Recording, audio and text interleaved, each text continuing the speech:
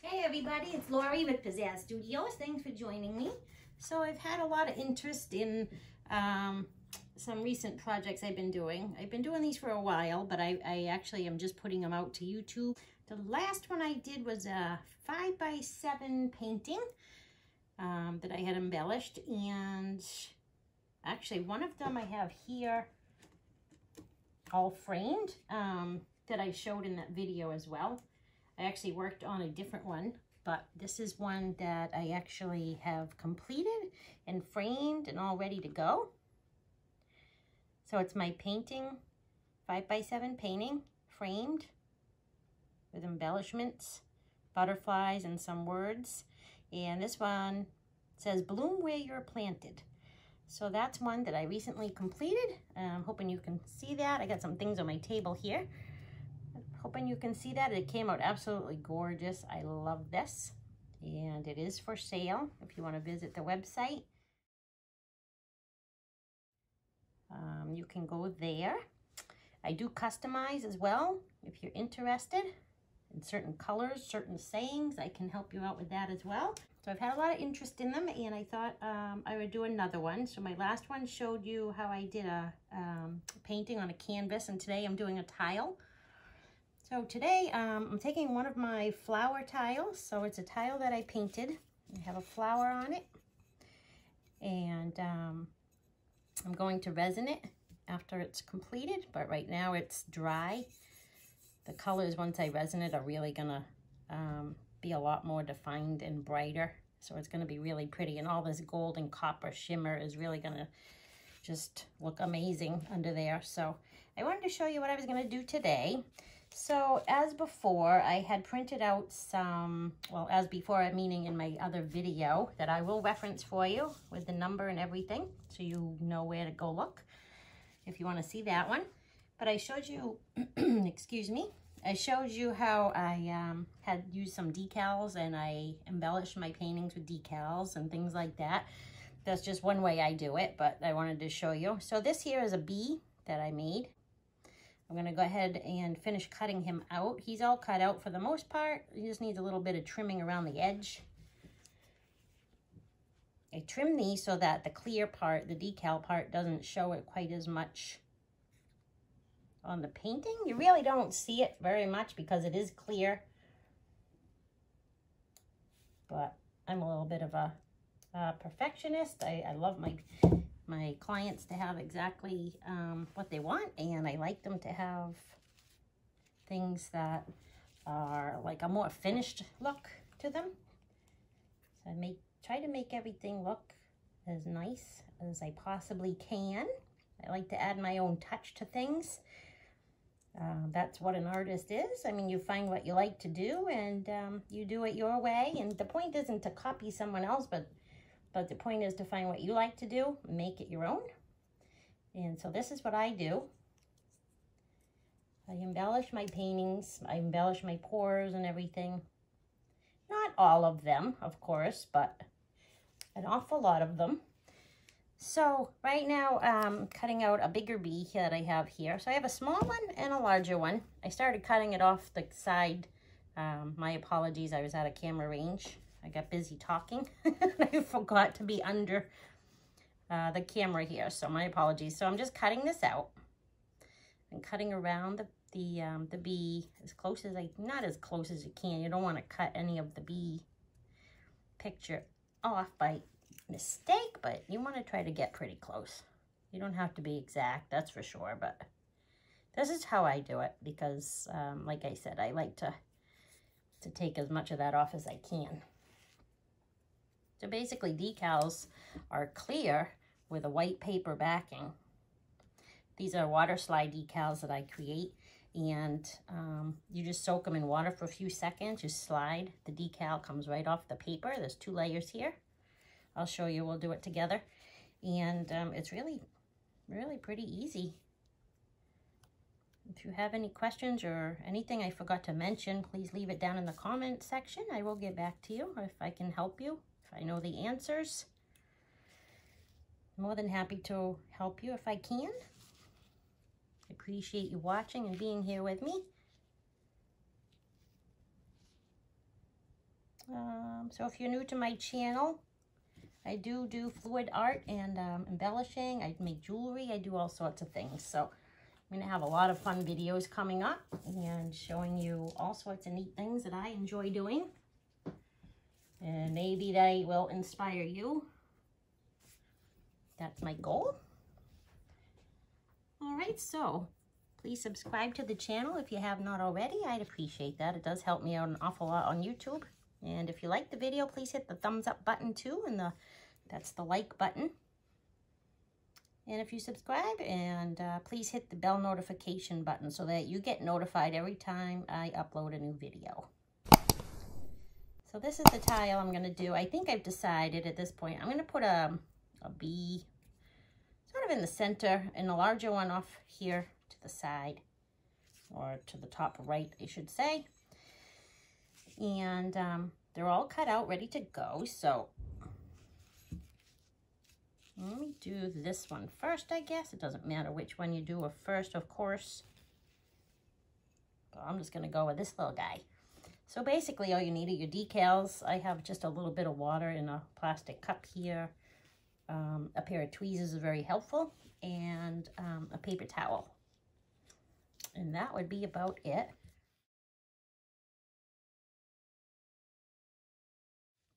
So you take your decal, I usually hold it with tweezers. It's much easier to work with than using your fingers, I find. But So just soak it in the water. All depends on what decals you use, but these particular ones I soak for, I don't know, it's like eight seconds, something like that. Shake off any excess water you might have. And then um, what I also do, I take just a little dab of it, of water, and put it down on the tile not much, just very little. And then I slide, this decal comes off the paper. As you can start to see, they start to separate. And you have two layers here. So take the decal very gently. They're very, very delicate. You can throw the paper away, set it aside. Um, place your decal wherever you'd like. Try to keep it straight. They do tend to fold a bit because they are delicate. You want to be careful with that. All right, so you just place them down where you want to make sure it's nice and even. Take a paper towel and blot it up so that you get all that excess water off. And there you have it. So there's that little guy. I'll give you a close-up too when we're finished here. I enjoy doing these very much. I make so many different kinds of um, embellished paintings, mixed media kind of things. I'm doing the larger bee now. I'm just soaking them in the water here. Oh, eight seconds or so. Shake off the excess. I'm Just to put a little bit up here where I kind of want to place him. And then slide him off the paper. You got to be really careful with these. They're a little tricky, so it takes a little, little getting used to for sure. They're extremely thin, like thin, thin, like tissue paper thin, like maybe even thinner than tissue paper. And then take your decal, place it down wherever you'd like it to go. I think he looks pretty cute right there. Okay, um, take your paper towel and blot. And there we go. So that's that. I think this one's, um, I think this one's complete. I think I'm done with this one. So let me show you a close-up here if I can get my phone to zoom. I don't know. If not, I'll do it at the end of the video for you. Let's see. So here we go. Now this is well cured. It's been um, painted on quite a while ago. So there we go. And I got, uh, let's see, the little bee there in the center. This little guy up here. Looks cute, right? See? Now the thing with these decals too, since they're clear and you can see the middle one here, the little one in the middle, um, you can see him, but obviously he doesn't stand out quite as much as the other one on the white background. the colors in them. So that's something to be mindful of. Pardon me. Allergy season here in New England is in full bloom. Funny, we're working on flowers. I'm talking about full bloom.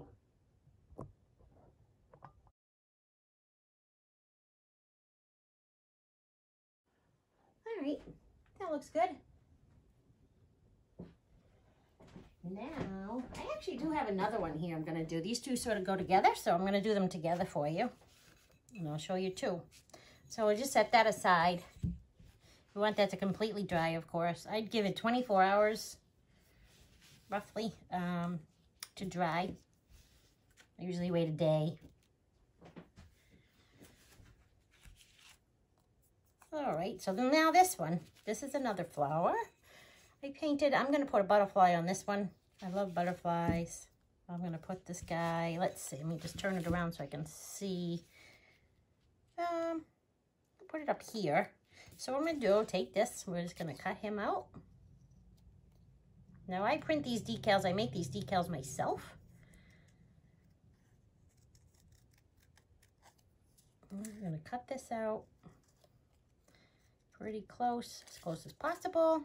You can use those little small scissors too. It, it may work better for you. I happen to have these here in my studio, so these are the ones I'm using today. These work fine though. You just got to be careful with them. You don't want to cut too far into your, you know, into your picture or anything. You just got to be careful with that.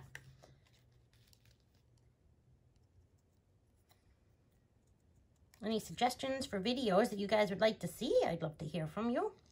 Let me know in the comments section anything uh, you're interested in me doing or if anything you want to see how I do or whatever. I'll let you know. Let me know rather and then uh, I'll read your comments and get back to you.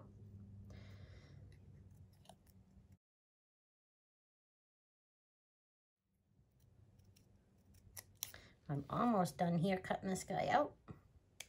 I would have cut him out before the video started, but I wanted to show you exactly what you need to do. It's therefore I'm doing it on camera. Non-manicured hands and all. yep. Time to do something about these. Nails of mine. Maybe by the time I do another video, I'll have them all done up pretty for you. no promises. a busy artist, what can I say? I enjoy working with my hands. My manicures do not last. Most of the time, my paint is my manicures, my nail polish. Okay, so that guy's cut out. Now what I'm going to do, let's see, I just want to place it wherever you think. Now's the time to place them down to figure out where you want to put it.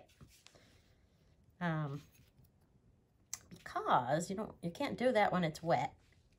You really don't have a lot of time to work with it when it's wet. You need to do it when it's dry and still has the paper backing and everything. So you have time to play around, see what you want where, see if the size is right and all that good stuff. All right, so, I don't know. I'm, hmm, I'm thinking. Oh, what do you guys think? I'm thinking like this. Does that look good? I think I'm to do that. Not that you can answer me. I guess you could in the comments, but that's too late because I've already done it. Kind of neat down here too, but I think he'll show up better up here. Um, I'm just not sure which way I want to put him. I want to go this way or this way. I think I'm going to go this way. Yeah. All right. I've made up my mind. So we're going to take this again put um, decal in your tweezers. Just dip it in the water. You want to make it all under the water. Make sure it's totally completed, completely uh, wet for about eight seconds roughly. Shake off the excess. I'm just going to put a little bit up here. And then we slide this off. If it does not slide off easily, you need to soak it just maybe a second or two longer. Okie dokie. This one's coming off nicely. Then you just slide it off like that. Then place them wherever you want to put it. It is so thin and fragile though. You really do have to be careful. It's okay if you have extras, but if you only have one, you're going to be disappointed if it tears or something. So just uh, warning you, just be gentle. Okay. This butterfly has these little antennas at the top here that are very, very, very delicate. I'm using my finger now. I don't want the tweezers to to tear it or anything, but I got this part, I got to straighten out a little bit. Oh, there we go. They can tend to fold on you. It folds under itself or over itself. Okay, that looks pretty good. There we go. Then take your paper towel, as before, and just blot it. And we're done. I have some pieces that are resined already. However, they're not in the room with me. They're all the way downstairs. So at this time, I'm not going to show them. Okay, so let me turn this around. I show you what we got here. I'm thinking I'm done with these two. Um, sometimes I go back to it the next day and look at it and go, oh, I'd like to add this and or that, you know, and I'll, I'll add more to it or, or I'll leave it alone if I like it just the way it is. But I am famous for going back to things and adding to them. All right, so here we go. Are these cute or what? Do you like these?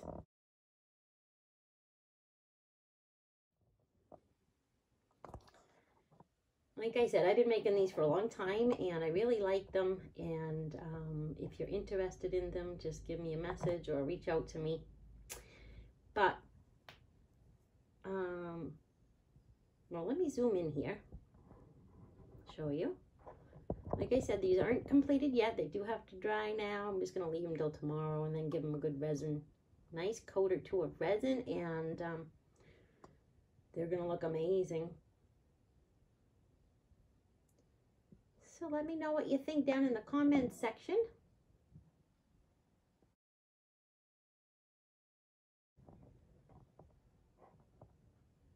I appreciate your feedback. Like I said, if you could hit the thumbs up button, show me if you liked the video or not. If you have not subscribed already, please do so. I appreciate that. It's just a free, easy way that you can take a moment to show your support for me and I do appreciate you taking just a moment out of your day to do that for me. It's much appreciated. So that's it for today. I thank you so much for joining me I hope you have a wonderful day. And I will see you on the next video. Take care. Bye.